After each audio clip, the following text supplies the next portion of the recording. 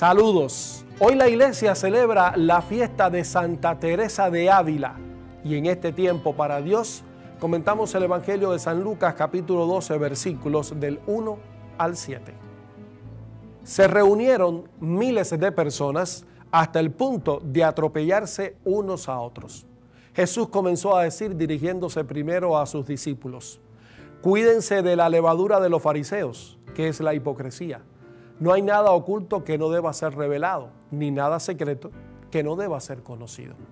Por eso, todo lo que ustedes han dicho en la oscuridad será escuchado en pleno día. Y lo que han hablado al oído en las habitaciones más ocultas será proclamado desde lo alto de las casas. A ustedes, mis amigos, les digo, no teman los que matan el cuerpo y después no pueden hacer nada más. Yo les indicaré a quién deben temer. Teman aquel que después de matar tiene el poder de arrojar a la queena. Sí, les repito, teman a ese. ¿No se venden acaso cinco pájaros por dos monedas? Sin embargo, Dios no olvida a ninguno de ellos. Ustedes tienen contados todos sus cabellos. No teman, porque valen más que muchos pájaros. Celebrar hoy la vida de Santa Teresa de Ávila es celebrar la vida de una mujer que de inicio incesantemente buscaba, anhelaba, deseaba vivir y no encontraba quien le diera esa vida que necesitaba, hasta, hasta que se dejó encontrar por Jesús.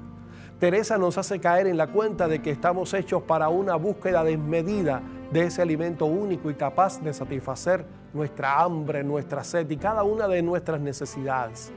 Celebrar a Teresa es descubrir que el deseo interior que nos quema por dentro solo es saciado por Dios, tal como sacia el agua que Jesús le ofreció a la mujer samaritana.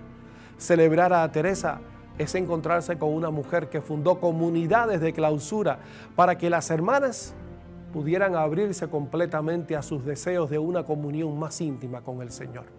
Es celebrar a alguien que se hizo puerta para que otros conocieran a Dios.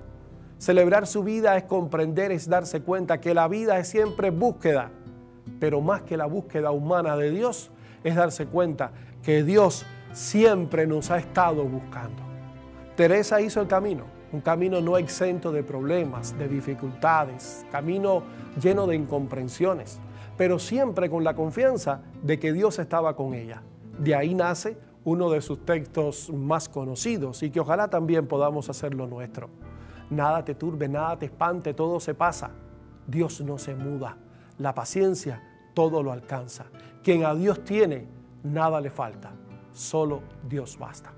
Es la misma Teresa que nos ayuda a descubrir que si decimos que la meta del amor de Dios es el bienestar de la humanidad, entonces el discípulo de Jesús vivirá de manera tal que espontáneamente cooperará con el reino de Dios y prolongará el actuar de Jesús en todo lo que hace en cada jornada de su vida.